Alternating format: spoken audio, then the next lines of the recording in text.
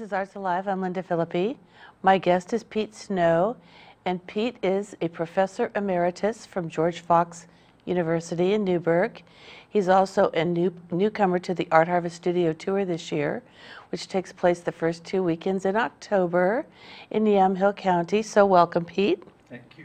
I'm, I'm, I'm glad that you're here. Nice to meet you. And also, congratulations on being on the tour. Yes, thank you. Okay, so, so tell me, how did you happen to um, begin the art department at George Fox University? Well, back in the late 60s, Milo Ross, who was then president, uh, I had been teaching in public school, teaching art, and uh, he encouraged me to come to Fox and start an art department, which I wasn't real sure about, but then I finally decided that was a good thing. And so we moved to Newberg, and uh, I started at Fox and uh, spent the next 22 years building the art department. That's so incredible. That's really amazing. And now, And now, the art department is the fifth largest major on campus. isn't that incredible? I Wow. joke and tell the guys there, when I retired, they had to hire five of you to take my place. See, there you go. wow. And and since retiring, what, what have you been doing? Is that when you when you really your pottery took off, or were you doing pottery all those years as well? Oh, well? I was, I was doing pottery all the time I was Okay. at Fox.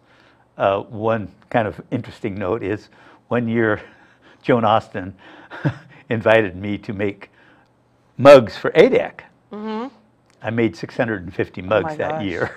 You were about mugged out at Christmas, huh? It's like I know what I don't want Santa to bring me this year. Okay, wow. Yes, and I, I've always enjoyed working in a variety of art forms. You know, I've done drawing and painting and all those kinds of things. Mm-hmm. Uh, went to Reed College for a master's degree and learned calligraphy from Lloyd Reynolds. Oh my goodness, And- wow. Have uh, you know done calligraphy for many years. I don't have any here to Mm-hmm. show, but uh, have enjoyed art and teaching students art. That was to me that was a fun sort of thing because many of the students I had who came to George Fox the school had probably gone to a very small public school somewhere, maybe Scio or you know some little town somewhere. They had never had art before, and so I was introducing them for the first time, Oh yeah. and it was good. Oh. They the kids enjoyed it. They found uh, pleasure and reward in Mm-hmm. making a variety of things. Sure. Uh, many of them learned calligraphy, which was, you know, I enjoy that. Um, and it was, it was just a, a good time. The school was, of course, smaller than it is now, Mm-hmm. and uh, but I still had a, a good interest in students uh, learning about art. At some point, yeah, you probably actually ran across almost everybody who went through there, didn't you? Yes. Well, it took me a while, but I finally encouraged the faculty and the administration to require the uh, introduction to art uh, as a general ed requirement, as was music.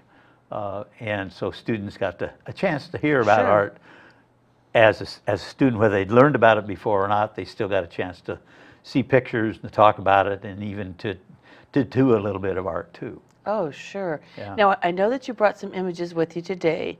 So how about we flash them up on the screen and you can, you can talk about those. Yes. And then also talk about the work that you're, you're doing currently mm-hmm. and where you're going to be showing too for the tour. Here you go. Well, that's a little project. I like that. Those are called bells, mm-hmm. and they're thrown on the potter's wheel, very much like you'd throw a mug, and then after they're leather hard, then you pull a handle on them, Oh, okay. and then I they have a little clapper inside, and so you just pick them up, pick them up, and ring them. So what did you call it after they're leather hard? Yes, So- leather hard is the stage that they're still soft enough that you can do things with them. Mm-hmm. They don't. They have to become uh, greenware, which means they're dry and ready to be fired the first time Mm-hmm. as bisqueware, be, and become bisqueware, and then can be glazed. Okay. Yeah, those. I had I had a lot of fun making those. Oh, I love They're it. I think those are great. You know, you could have one on your dinner table Yeah, and ring sure. it. Time for dinner. Exactly. Right, you've been talking too long, time to let somebody else have a turn. right. Right? The talking stick, the talking bell. Okay, that's, that's really beautiful. And I made lots and lots of big pots uh, for planting things in uh, Mm-hmm. primarily. Uh, they're they're fun to make and they're fairly large and that one has two handles on it and uh, is you know I don't know how big technically across it is. It's probably 12, 14 inches across. Pretty good way. size, yeah. Yeah, and and they're for people to plant plants in and you know have in their house or on their porch or wherever. And I made lots and lots of.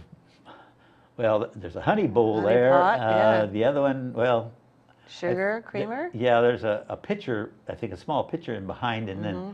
then uh, probably a sugar bowl, and then a honey pot.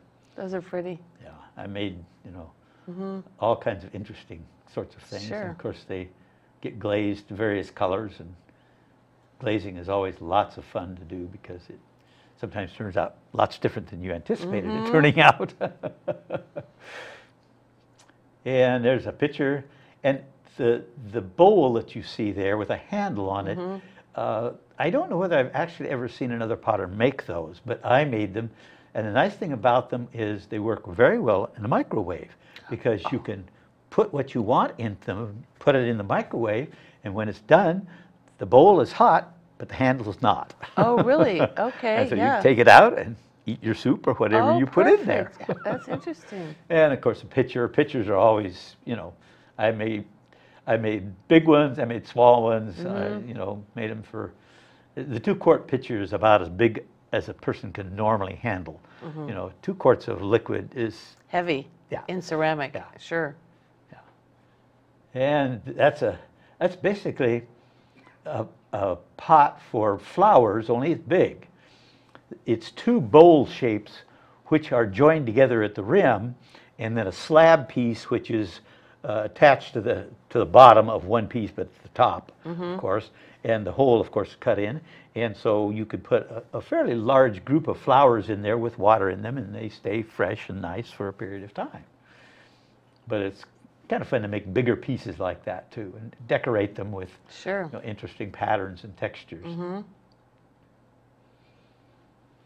And I think that's probably a cookie jar. I think. I, uh, it's been a while since I made that one, but it's uh, it's a cookie jar, not for big cookies, but for smaller cookies. Dainty. Yes. Dainty cookies. I like it. Yeah, there. There's our And back to the bells. yeah. Back to our bells again. Okay. and then, and here we are. Hello. So now I see that you brought some, some things with you, and I'm really intrigued by this because this seems to be the, the sculptural piece that you brought. Yes. Yes, I, I taught a class in sculpture to students, and I always wanted them to make something that was kind of permanent. You could have them work in clay, but most students, if they have not had experience in clay, find clay to be, unless you've got a really good image in your mind, uh, it may not turn out like you want it in clay. And of course, it has to be bisque fired and perhaps glazed, or at least glaze fired. So basically, I went to what is called steatite or soapstone. And it's a soft stone, can be carved with small tools, files, that sort of thing. Mm-hmm. And the piece that you get, very often when you buy it, is, you know, kind of like that, only it's got sharper edges and that sort of thing. So But kind of a, a a blob of right, a big rock. chunk. Okay. Yes. And with, with something like this, it can be turned and Oh, see, I thought it was two pieces. Yeah, Okay. you oh. can turn it whichever way Oh, you'd like, like it. it. So it doesn't actually have a bottom in the usual sense. Okay. And many of them that I made were like that. I see. Okay. So you could turn it around one way or the other. Open to Yes, interpretation. yes. And I, I, the kids enjoyed it because they could make a finished piece and it looked like, you know, a real piece of sculpture.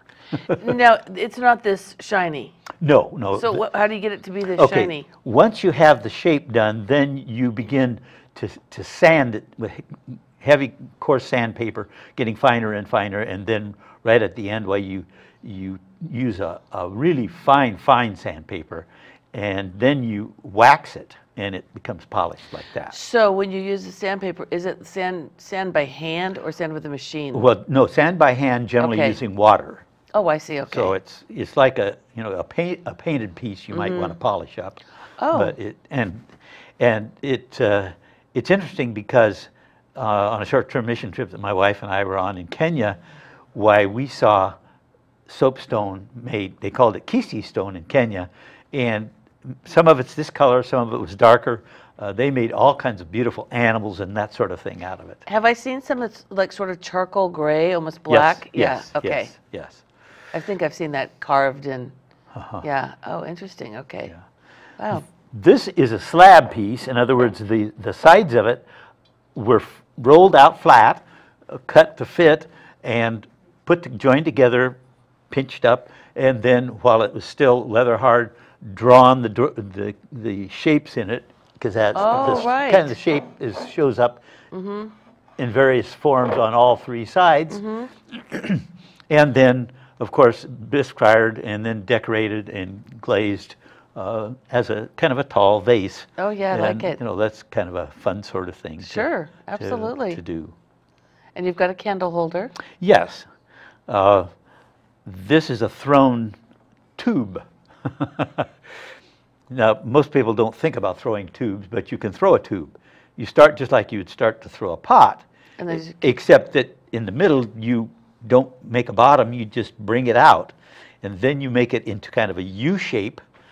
This has a kind of a U shape to it, and then you bring the top together and it closes it up. Oh. And the air then is trapped inside so it doesn't collapse. Oh, I see. Okay. Interesting. And then this, this is a thrown foot on it, and then these are thrown little uh, candle holders, a little bit like the tube on the, the bowl that I was talking about, only Mm-hmm. much smaller. And then the candles can be put in there, and it makes a kind of Oh, an really? interesting That's- candle holder. Yeah, that's really amazing. I was wondering how you did that. Okay. Yes. And And the, the, the blue and white piece is, Oh, yeah. is Really pretty. porcelain. And really uh. Mm-hmm. it decorates kind of fun, you know, it's, uh, because you can decorate the outside by putting all kinds of little texture surfaces and that sort of thing Mm-hmm. too. And of course, teapots are always one of those things that Everybody like loves teapots. Yes. There, there are teapots and there are teapots. You can make big ones or you can make little ones. Mm-hmm. But they're, they're always fun to make. The critical factor with teapots is making sure the lid fits. Right. and that when you pour it, it doesn't run back. exactly. And is there some sort of magic proportion to do that? so that- Well, the lid, of course, has to fit. Right. But the teapot, when you make the spout, has to have just a sort of a sharp edge around the, the, the spout here, so that when you quit pouring, the water catches it. goes down or goes down. Mm-hmm. Doesn't dribble down the side of the pot. Mm-hmm. right, exactly. That's amazing.